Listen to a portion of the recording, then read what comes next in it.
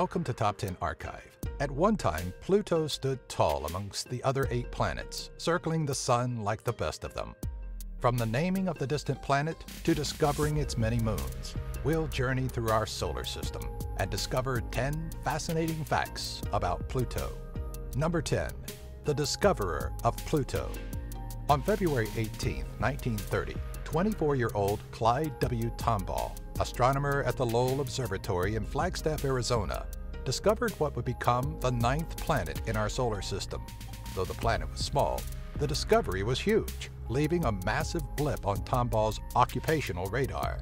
An impressive feat considering Tombaugh hadn't initially sought out employment at the observatory.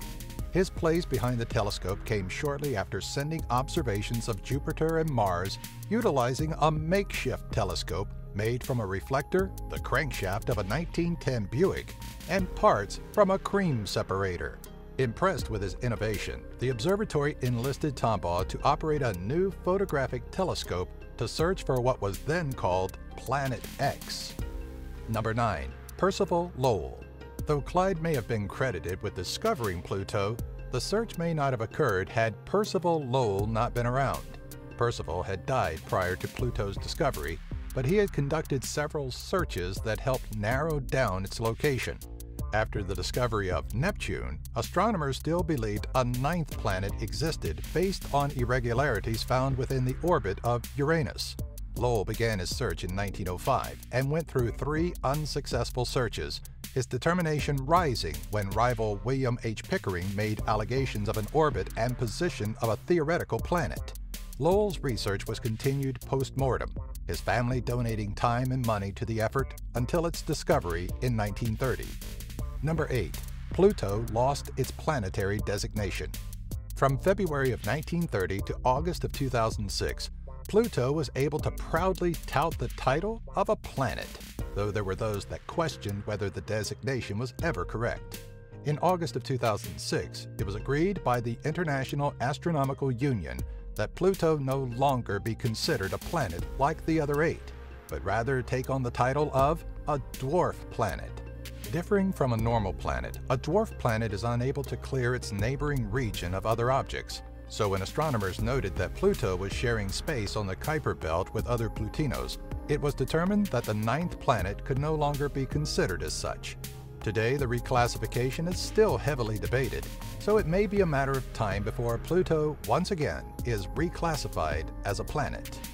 Number 7. Pluto in Astrology For those that subscribe to the School of Astrology, though Pluto may no longer be a planet, it still plays an important role. When considering the birth chart, Pluto is the symbol of creation and destruction and rules over Scorpio. Pluto is considered to be the great renewer, or the part of a person that destroys in order to be rebuilt, and is often associated with the phoenix and the concept of rebirth or renewal of oneself. Pluto governs areas of big business and wealth, or any trade that involves digging and bringing out the truth, such as surgery or investigative lines of work. In traditional astrology, it's not generally used as a ruling planet, but modern astrologers attribute it as the ruler of the eighth house. Number 6. Pluto crosses Neptune's orbit. While Pluto is known for being the farthest planet from the Sun, there actually is a moment in time where Neptune swaps places with it.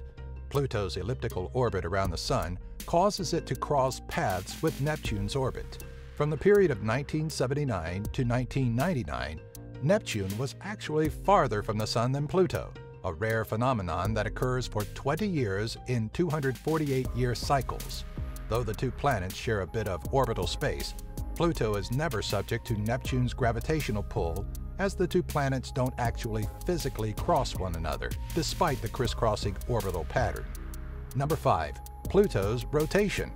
We're so used to the sun setting in the west and rising in the east that experiencing the same daily event on Pluto may throw us for a loop, as Pluto spins in a retrograde motion from east to west rather than west to east as we're used to. The rising and setting of the Sun occurs in an opposite pattern. The rotation of the planet is also considerably slower than that of Earth's, and one full rotation of Pluto takes approximately 6.39 days on Earth. One speculated reason for this slower rotation is the possible lack of a magnetic field. Number 4. The Five Moons of Pluto Where Earth only gets to enjoy the sight of one glowing moon, the dwarf planet of Pluto has five different moons. It's believed that, at one point in time, Pluto collided with another body in space, which caused material to disperse and create the five satellite moons. In order of discovery, the moons are Charon, discovered in 1978, Nix and Hydra, picked up by the Hubble Space Telescope in 2005, Kerberos, found between the orbits of Nix and Hydra in 2011, and Styx, which was discovered in 2012 when scientists were ensuring there would be no hazards for the 2015 New Horizons spacecraft. To prove the theory of the collision that created these moons, a search for an associated debris field is ongoing. Number 3. Pluto's relationship with Charon is unique. Distanced at around 19,570 kilometers or 12,160 miles apart, Pluto and Charon actually have a fairly strong relationship to one another. The two are in a gravitational lock of mutual tidal locking, so regardless of the time of day, the same face of Pluto is facing Charon and vice versa. In relation to moons and their host planets, Charon is the largest, coming in at half the size of Pluto, an impressive girth considering our moon is only 27% the size of Earth. Though currently considered a moon, since there is no true orbit of either object around the other, the International Astronomical Union has stated that considering Charon a dwarf planet is not an impossibility in the future. Number 2. Meteorology and Pluto. If you think you have it bad when your winter temperature doesn't creep above freezing, imagine living on a planet with an average temperature that hovers around 230 degrees Celsius below zero, or minus 382 degrees Fahrenheit being the farthest from the Sun, it's understandable that by the time the Sun's rays breach its gaseous atmosphere and reach the surface, the rays are considerably weaker. Even when it's closest to the Sun, more gases are released into the atmosphere, making it difficult for what would be stronger heat rays to reach the surface, creating the opposite of the greenhouse effect. For most of its seasons, Pluto is coated in a layer of ice that, when it melts, releases nitrogen, methane, and carbon monoxide, three components of the dwarf's atmosphere.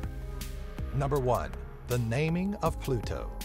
The process to find Pluto was a long and drawn-out one, taking years of research and much manpower. The naming of the dwarf planet was something far less complicated and involved a young, intelligent mind and the proper connections. Falconer Madan, a retired librarian from Oxford, was with his 11-year-old granddaughter, Venetia Burney, reading out loud the discovery of a new planet, then named Planet X. When Madan was inquisitive over what the planet should be called, Venetia chimed in with Pluto, naming it after the Roman god of the underworld, sticking with the current theme of the eight current planets. Madan composed a letter to a friend, an Oxford astronomer, Herbert Hall Turner, Pluto was put up against other popular choices, such as Kronos, Zeus, Atlas, and Persephone. But in May of 1930, a vote among astronomers at Lowell Observatory saw Burney's suggestion winning, even beating out Minerva, which was looking like the popular choice. Do you think Pluto should be classified as a planet? What other interesting facts do you know about Pluto? Do you have an idea for a future Top 10 video? Let us know in the comments section below. And be sure to follow us on Twitter, Facebook, and our website, top10archive.net. If you liked this video, be sure to give it a thumbs up and share it with all your friends.